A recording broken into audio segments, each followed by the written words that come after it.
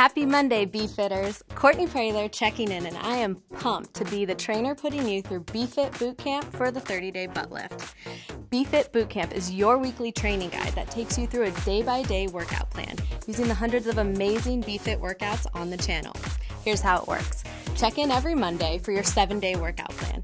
You might want to create a playlist each week with the workouts. Just click the Add To button beneath the video to get started.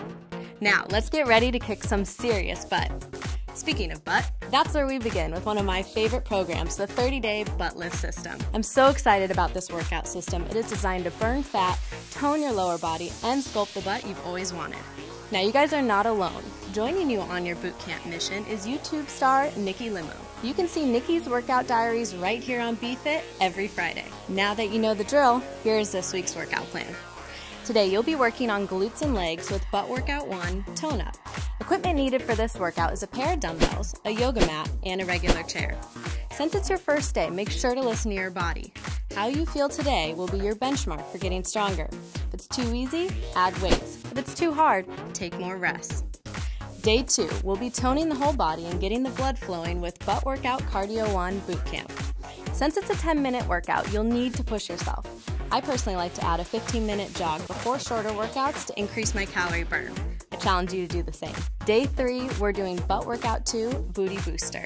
You'll need a pair of dumbbells for this one. I use 5 to 10 pound hand weights, but adjust up or down according to your workout level. Thursday is a rest day, so use it wisely. You could try to do a healthy grocery shopping trip. In fact, you can download my weekly grocery list right here. Now we're right back into it on day four. We're going to do some ballet inspired moves to strengthen the lower body with Butt Workout 3 Firm Extreme. Day 5, we've got interval training drills from Butt Workout 2 Fat Burning.